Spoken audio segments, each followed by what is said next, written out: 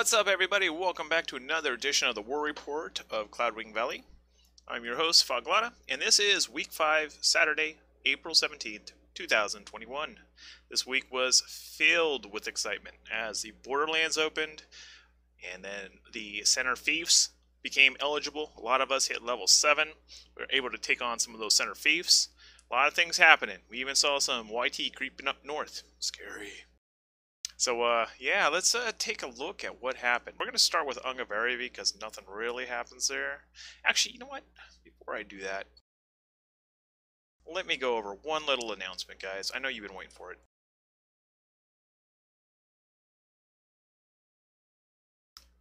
Monday. Monday, Monday, Monday, the Shield Maidens arrive. First female troop in the game. Can't wait. Know you guys are looking forward to it. We're going to see how well they hold up. Should be really cool to see how much meta there is on this thing. So uh, if you haven't been saving up all your EXP for the last month, sorry to be you. You're going to have to grind that thing out. In any case, I know we are all looking forward to it. So uh, be sure to log in first thing Monday morning. Go get that Shield Maiden. It's going to be a lot of fun.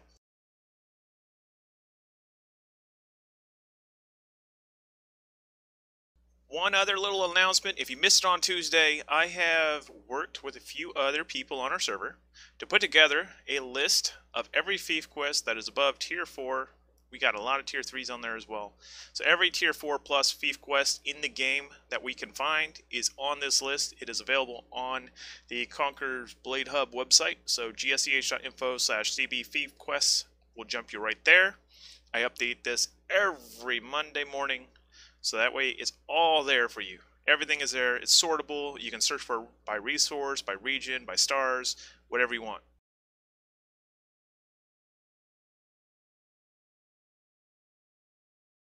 So let's go ahead and jump over to Ungavaria. This is where we sat on Tuesday.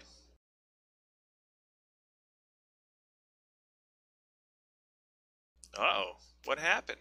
YT's got everything but five fiefs we can probably see how this is going to go this season. I think uh, they're pretty well in the deck for the Tilaveros.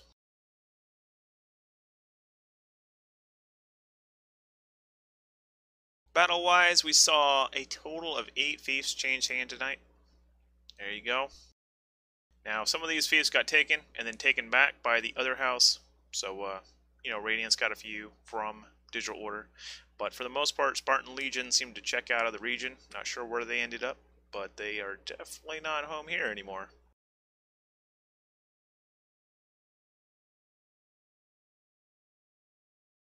Taking a look at the houses of Ungavaria, we have Radiance, Digital Order, and Atlas. Pretty much YT. So how's that prosperity rating going? So, YT, we need to have a talk. You guys are the biggest dog in the yard. You have a million billion people, and you can't even run one single zone? Come on, guys. It's deteriorating on us. 250 now. This should be way over a thousand. Seriously, come on. Come on, man. 90% is owned by free houses or yellow turbans. Um, Started with 21,900 influence, currently sitting at 21,650 influence. Prosperity rating of negative 250. That is stable, but not great. You should get that up. The average fort level is 4, the average town level is 3, the average, village level is 1. Hopefully we do not see this continue to drop, but chances are with that much land taken by one alliance, we're going to see it drop.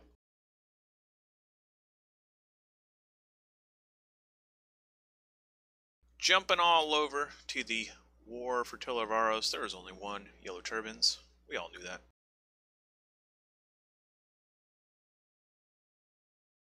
For those that call Ungavaria home, we have a total of five fief quests to look out for. Elite Rebel Officer belongings, Granite, and Elite Rebel melee kits are our Tier 5 fief quests. Limestone and Uncommon Rebel Melee kits are our 4 stars.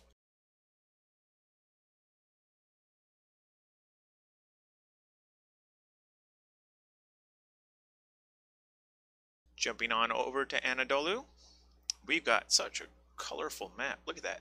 We got a little red, a little yellow, a little blue, Lots of different colors there, lots of different houses there. Let's see how it looks after Tuesday.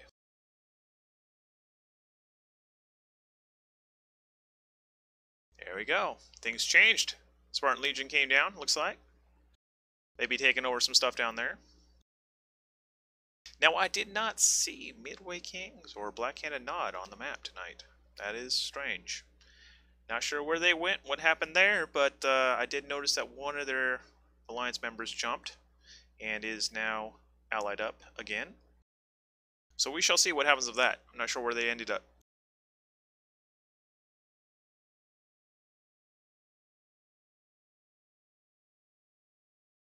Over on the battle screen, here we go. There are our big kingdom changes. Total of 18 fiefs changed hands tonight. Resurgency, welcome to the party.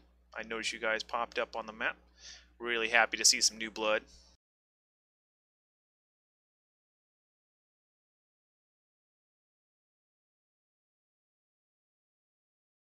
Taking a look at the houses of Anadolu, we have Revival, number one, with 4,050 points. Digital Order, number two, with 3,900 influence. Radiance, number three, 3,850 influence. Spartan Legion, number four, with 2,100 influence. And Resurgency with 150 influence. Good to know.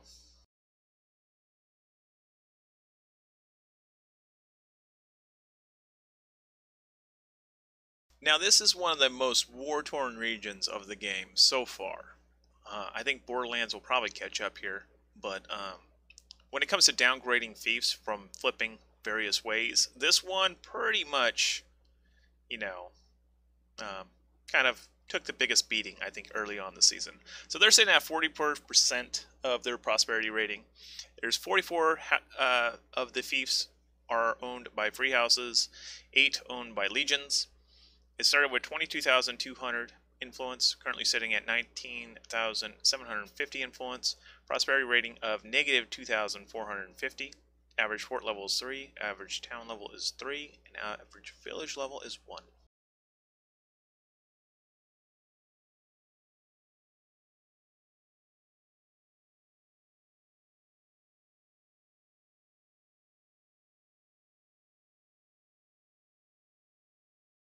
Now jumping over to the race for Regionopolis, we now have three contenders on the map. We have Yellow Turbans, Phoenix Legion, and Prophecy of Kings. This is going to be a three-way fight, possibly. Well, four-way if you include the cohorts. And I, I, I do think the cohorts are going to give them a good run. Um, we will see how well it goes. I, I, I think the cohorts could hold them off at least a wave, maybe two. We will see. So Prophecy of Kings does need to get another 900 influence before they're eligible to knock on the door, but it could happen.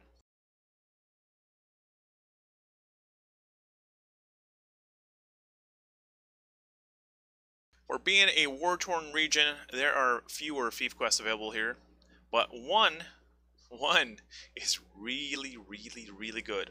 Bolin. That is a food fief quest. This is the easiest kind of fief quest you could possibly do. Every node gives you food. Doesn't matter what color it is, just gives you more.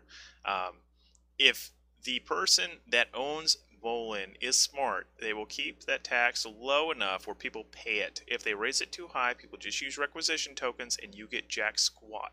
If you got a food node, this is your moneymaker this week because five star fief quest, only one in the zone. People are going to be hounded for that food. You just keep it flowing.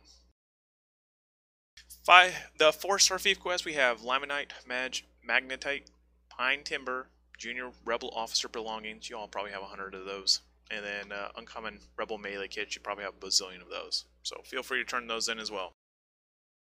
Now you got until tomorrow night to do it. Otherwise, you're all out. It's going to be all new quests come Monday.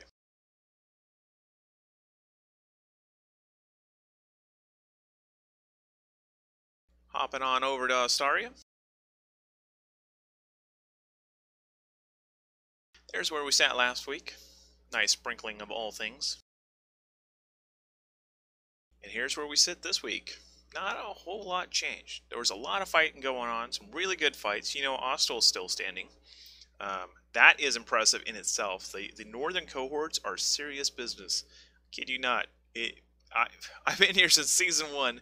I've seen this since the cohorts were, were basically envisioned that very first season. I've seen them grow to what they are today, and I can tell you that the northern cohorts are unreal. I would put them on the same bar as YT.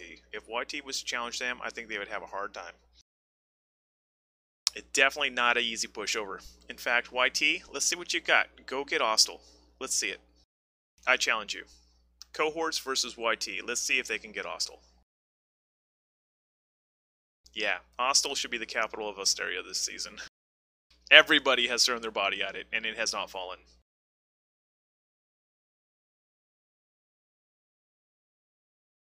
Looking at the fights around Asteria, there you go. Total of 10 fiefs changed hands.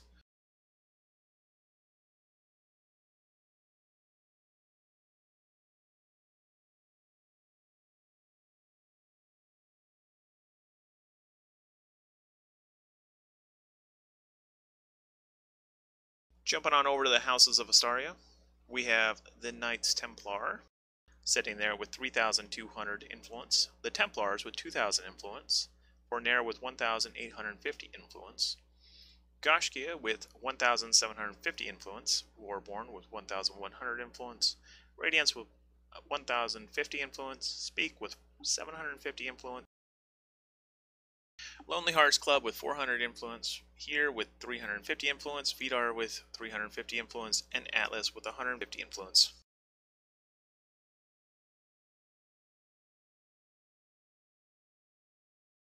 Now, Asteria knows how to party. We fief quests like nobody's business.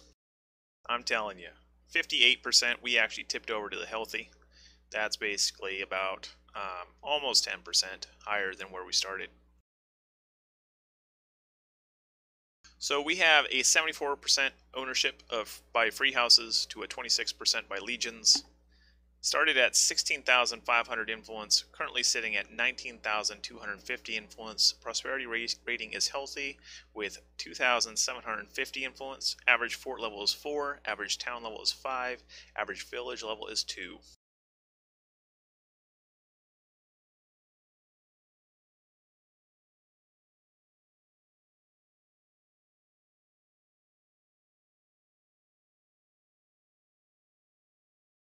Taking a look over at the War for Argolia, we have two in the running. The Woodcutters Union and Valor. Who's going to win that fight? You know, either one gets knock on that door. They still got to pass the cohorts, and uh, my money's on the cohorts. I think the cohort's going to keep Golia this season.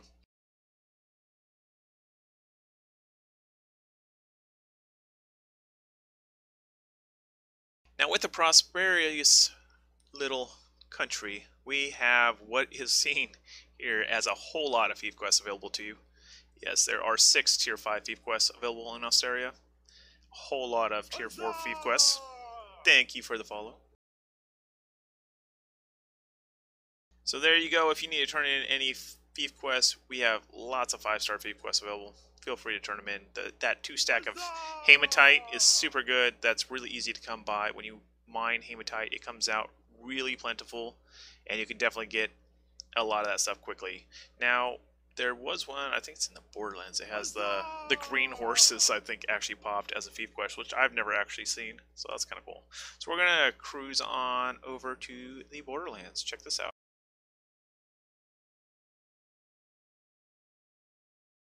Thanks for the follow, guys. Oh, that looks pretty.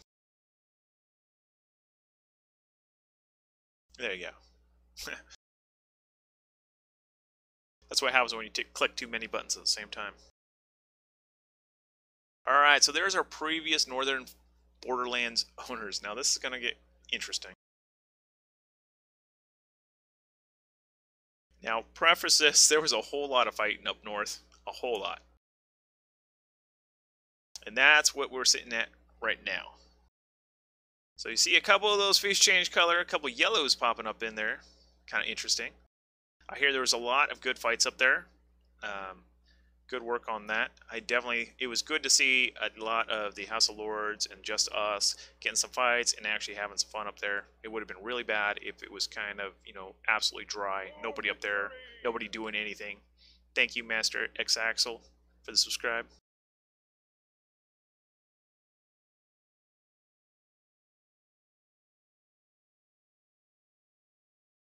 Looking at the battles in the Northern Borderlands, there you go.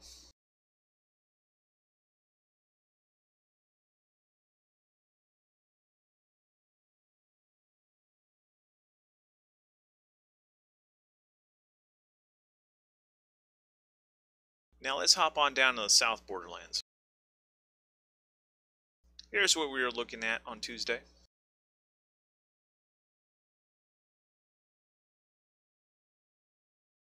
And here's what we're looking at now. Welcome, King. Yep, we got some houses that don't even have alliances taking up some fiefs down there. It's pretty nice. Got Just Us poking up down there. We got uh, the Partisans grabbing a fief.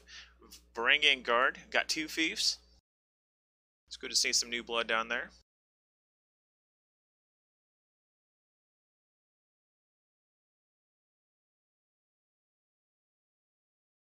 Taking a look at the battles, there's quite considerably more fiefs changing hands down there. A total of 15 fiefs changed hands.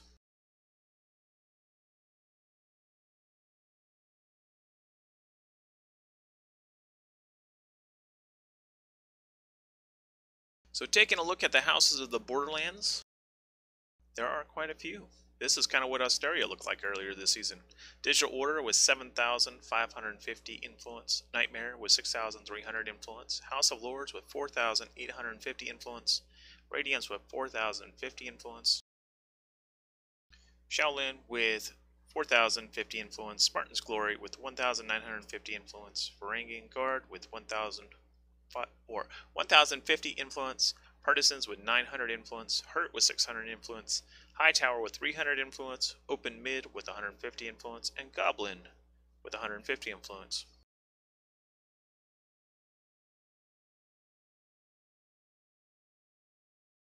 So how about that Borderlands prosperity? Now, with just us losing a little land and uh, YT starting to hyperextend up there. We're going to see a little bit of, of a downturn here. Um, the hard part about owning a lot of land is you can't possibly keep the Fief Quest going to all of those and maintain them. They will downgrade. And as they flip, they're going to downgrade faster. So this prosperity in the Borderlands is guaranteed to shrink into nothingness. It's gonna it's probably gonna be the worst off zone because it's so big, so vast, and there are so many different kind of pockets that people like to play in. So as they push down those pockets, wipe out fiefs, come back, it's going to drop. So this expect to see this prosperity rating somewhere around maybe 30 to 25% by the end of the season. It's going to happen. So 94% of the, the Borderlands is owned by the free houses. 6%, which is pretty much Conquer City and the Four Gates, is uh, currently owned by Legion. There is no Borderlands Legion, so that's kind of one of the big factors there. Starting influence, 43,150. It is currently sitting at 41,900. It has a negative 1,250 influence, which is uh, pretty much stable at the current set, but it will probably climb a little bit lower. Average fort level is 4, average town level is 6, average village level is 1. So far, I don't think we've seen anything upgrade out there, at least not beyond what they've we have a couple level twos on the, the villages. We haven't seen a level seven uh, stronghold yet.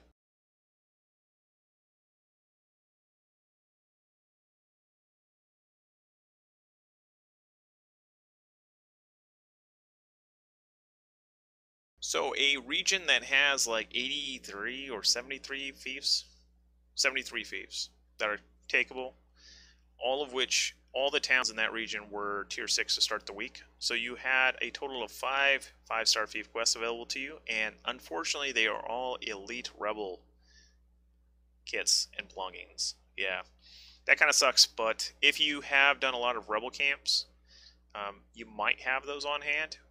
Anyone that has the uh, 12 rebel officer belongings, that's probably a lot of farming of the roaming rebels to get that. There are a lot of tier 4 fief quests, and Whalewind has Genet fief quests. That's like actually the first time I've ever seen Genet on the map. So, uh, yeah, if you got a crap ton of Genets, that's where you wanted to dump them. It's either that or the glue factory.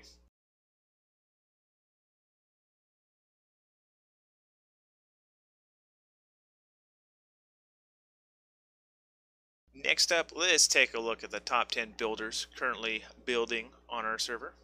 We have Knights Templar sitting there with 800, total of 8 fiefs. Koshkiet, number 2, with 4 fiefs and 550. Fornair with 5, with a 500 prosperity rating. The Templars with 350, with 3 fiefs. Lonely Hearts Club with 2 fiefs and a 100 rating. Atlas with 13 fiefs and a 50 rating, here with 2 fiefs and a 50 rating, Vidar with 2 fiefs and a 50 rating, and Warborn with 3 fiefs and a 50 rating. That essentially is the number of influence from where it started to where it lives now uh, for their entire realm. So it, all the fiefs that they own, that's how much they have. So Knights Templar is climbing quite rapidly with those 8 fiefs. That's basically 2 upgrades per village would be that. Um, if they own just villages, the towns go up a little faster. Um, at least until they hit rank, I think rank 5 for villages, it starts going up by 100 instead of by 50 each time.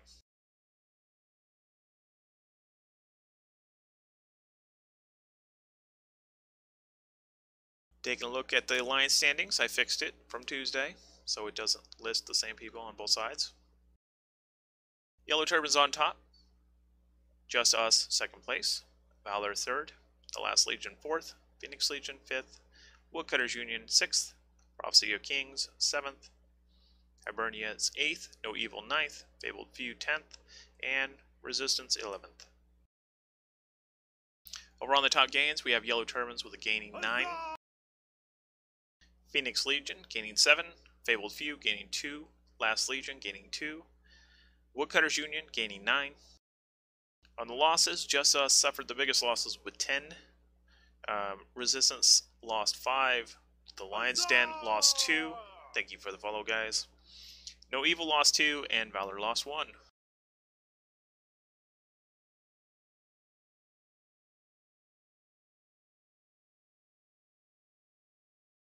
Thank you. So many follows tonight. So blessed. Thank you, guys. Uh, Top gains of the week Revival gained 7, Atlas gained 5, Hurt gained 4, Spartan Legion gained 3, Digital Order gained 2, Varangian Guard gained 2, Radiance gained 2, Regency gained 1, Lonely Hearts Club gained 1, and House of Lords gained 1. Biggest losses of the week Partisans lost 5, Spartans Glories lost 5, Shaolin lost 3, Speak lost 3, Nightmare lost 2, Midway Kings lost 2, Black-Handed Nod lost one, and Warborn lost one.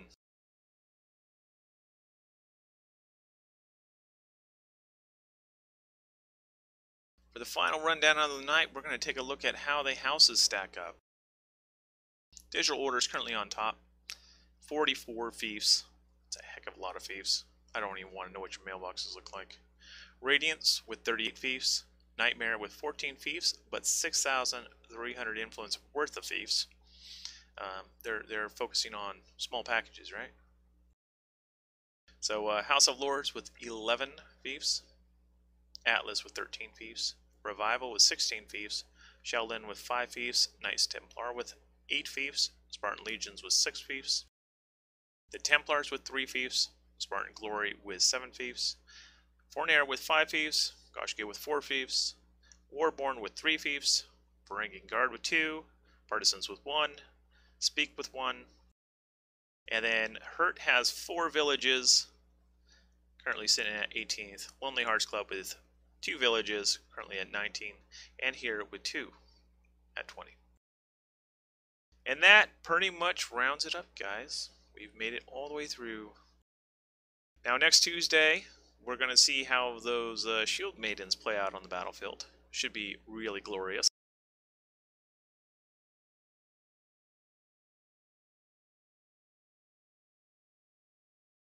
bounce on back to there.